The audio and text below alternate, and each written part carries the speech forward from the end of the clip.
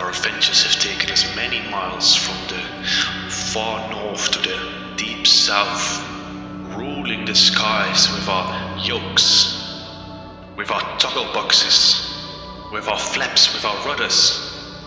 But not today.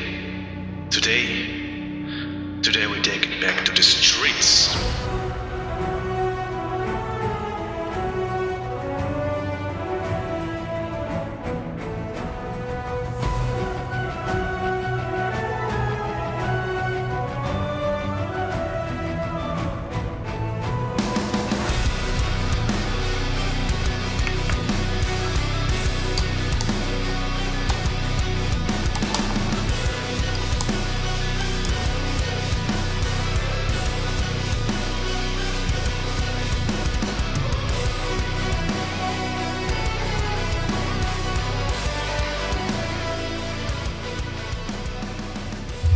The wiring of this box is quite simple because we make use of a button matrix of nine buttons. This one I've just, because I was lazy, I just soldered this directly as an input pull-up button. Now if you have any questions on how to do that, on my website I will link it down below.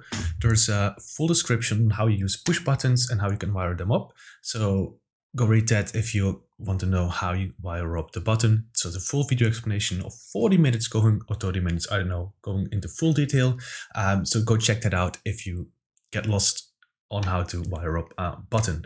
But the button is just loosely wired up and these ones are just connected as input pull-up buttons as well. Now, we have columns and we have rows. Under the hood, it looks like this. We have the left pin of the momentary push button is connected to the next left pin, to the next left pin. And the same goes for the columns. So the right pin is connected to the switch below, etc. Now, the moment power starts running through, we can see which button is pressed. And why is that the case? Well, let's go take a look at an illustration. Okay, so if we would make a drawing of this, it would look something like this. Um, let's see, we're gonna, so this line is representing the power that is always high. Now the moment we press this button, the power will run from here to here to a pin, and this line will be low. The moment we press it, this part of the line will become high, and this part will become low because it has the ability to run back to the board through the button. Now this all works fine um, because we can just cross-reference. Let's see, something happened here because it was high, now it's low. We can cross-reference something happened here because this one is now high. Now, this works like a charm, but what would happen if, let's do it with pink, we'd press this button, we'd press this button, and we'd press this button. Now we would have an issue if we would press this button. Why is that the case? Well, let's go to color again, red. What right now is happening is that this one and this one will be low. This one will be high because power runs through. It's fine, it can recognize it. On the right side though, if this button is pressed, could be mean that this button is pressed, this could mean that in a logic this button is pressed, and this could mean that in a logic this button is pressed. See where it might get confusing for the Arduino to use this approach? Now, the bright side is that we are going to use this for Euro Truck Simulator 2, right? There is never a case where we use four buttons at once. Why would you need that in a truck?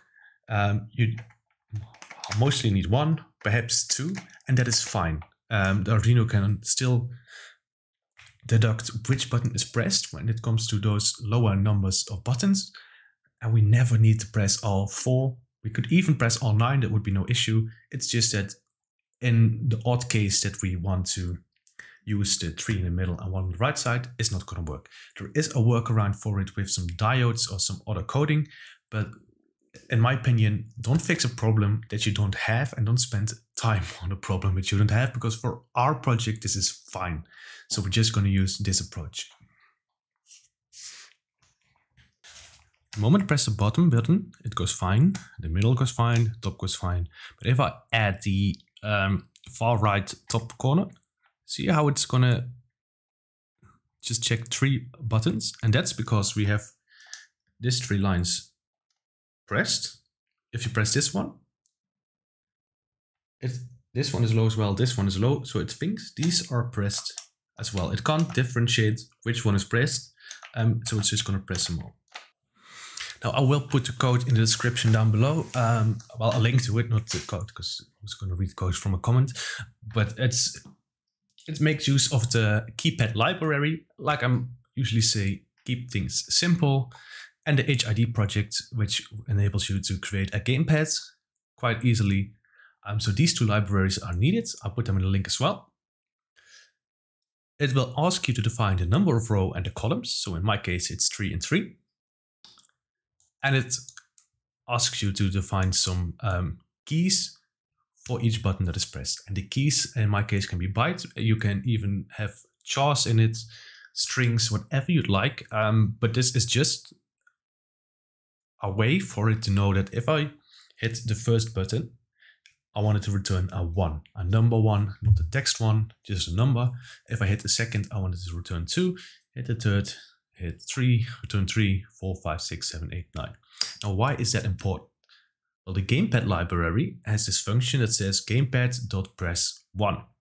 That's what we see over here, 1, 2, 3, up until 32. So if this returns 1, well, it returns 9, but is this one? Where's 1? Ah, okay, bottom right, doesn't matter. Um, if that returns 1, we're going to press button 1. If we press this, we're going to press button 2. If we press this one, we're going to hit button 3. So those correspond with what we've defined up here. And this is in the example. This is just a basic example that we've just pimped a bit. So we go to Arduino examples, keypads. Um, yeah, it's the multi-key in this case um, example. So what they've done, if they, they went with chars because they don't use the gamepad library, um, but the as we're able to tell in a second, I'll go back and then you'll see that the code is basically just our code mixed into the existing example. Because sometimes you just gotta be smart and use the ideas that are already implemented instead of creating your own. Because why reinvent the wheel, right? Um, right here we have the loose toggles. I didn't want to include them in the and the keypad, so they are just connected to the Arduino Pro Micro with their own separate wiring. And here we define the row pins and the column pins. So let's see. Row pins are on where the rows of the keypad are connected to the Arduino and the column pins are which pins are connected to the column lines. And that's basically what we've been doing here. So these are the column pins, well, in this case 10, 9, 8, and these will be the row pins, 12, 11, and 10, row, row, row. Now these could differ depending on wherever you soldered it. In my case, I had 4, 3, 2, and 5, 6, 7. If you got any other pins, uh, just change this to whatever pins you've used. It has some default keypads um, where you define the keys, row pins, call pins. This is all in the example as well. So you just gotta change it to your values and all is fine. I had to set the other toggles to input pull up because we're gonna do things the easy way. Gamepad.begin. And then we just did some really ugly checks to see if these toggles are high or low, but it works. Um, these are just the same as we've done previously in all the examples of the uh, button boxes, etc. Keypad.getKeys. keys. So if it's pressed, you press the gamepad button, and this is where the matrix that we've defined up top comes in to play. 1, 2, 3, 4, 5, 6, 7, 8, 9. So if a key is pressed, return whatever value that's associated in that matrix to that button and press that button on the gamepad. If we release it, we release that same button number and we're gonna write it to a gamepad.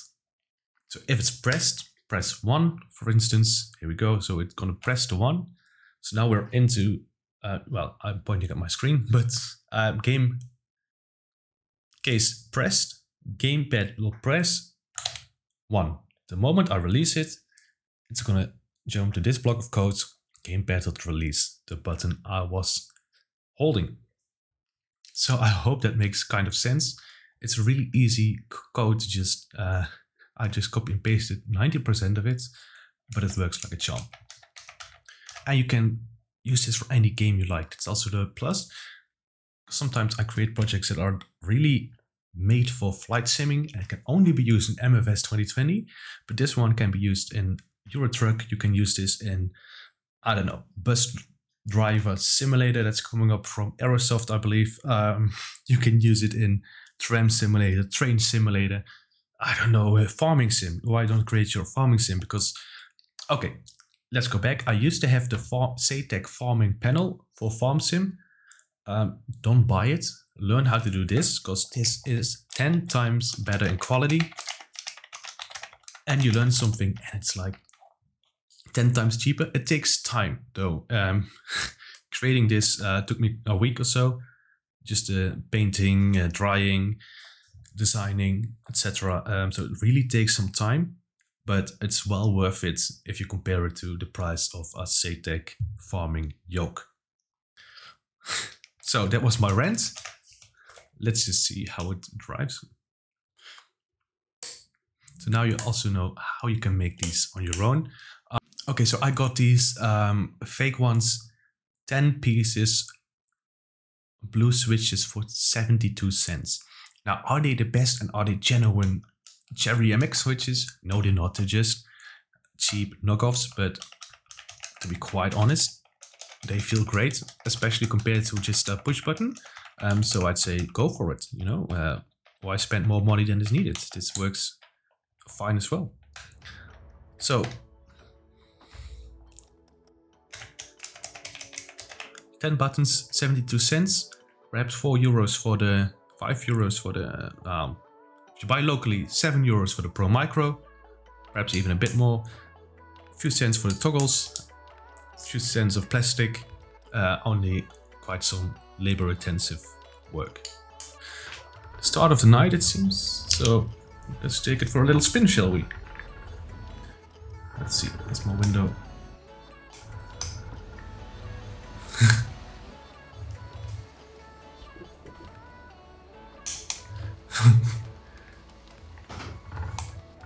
oh, yep, oh, there we go. A Bit rusty, it seems. We have bigger lights? Yes, we do. Nothing is coming our way. Oh, emergency lights! Jesus.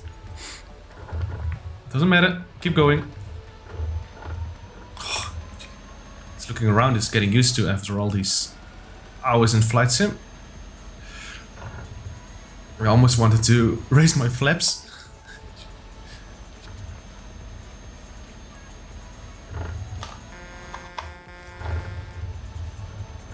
Okay. Yeah, we've got the beauty of it. It's uh, it's programmed like a joystick, so you can bind it to anything you like. You can change the keycaps on it because uh, they're just Cherry MX switches, um, like like they are in most mechanical keyboards. That's why you have to click the clickety. So I've gone with blue, so they click more than the um, brown ones or the red ones. I believe there is one in there is brown because I ran out of blues and I could open one of the one of the blue ones to test if you needed a little bump in the bottom, but apparently you do, so I ruined one of the keys. Only had 10, uh, so I'd got rid of one of the blues and switched for a brown one, but it's just, you know, details.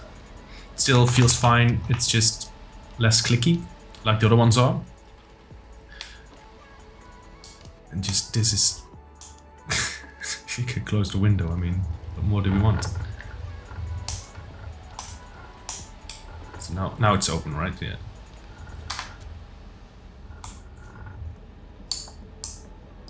Don't think the radio is working yet, but, you know, all in due time. Big lights on. It's becoming a little bit more brighter, so should give it some more light. Okay, sun is coming through. Been trucking quite some time on the road. Just me, Maloney Box. I think now I can overtake. Oh boy. I know it's illegal, and I know I'm in trouble, but...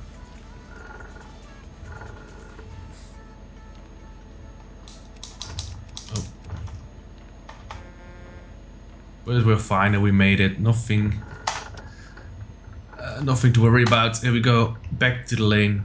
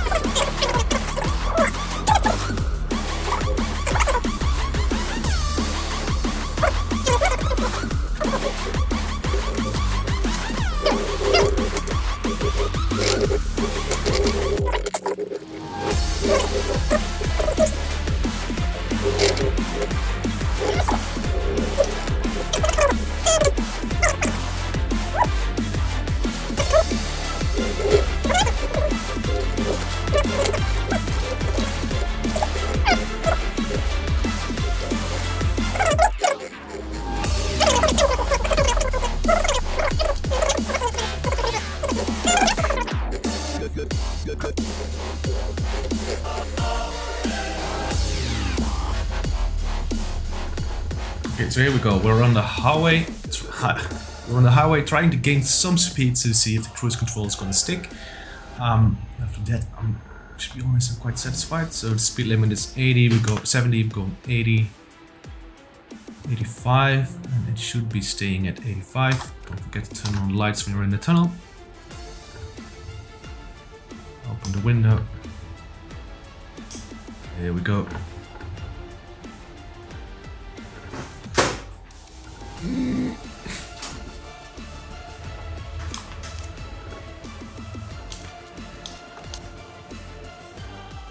So all in all, it works pretty well. Let's turn on the engine again. Lights, cruise control, big lights, wipers, wipers down, window, window. and I still need to find a use for this one. But all in all, I'm amazed by the quality. I'm amazed by the performance. Um, yeah, it's it's great.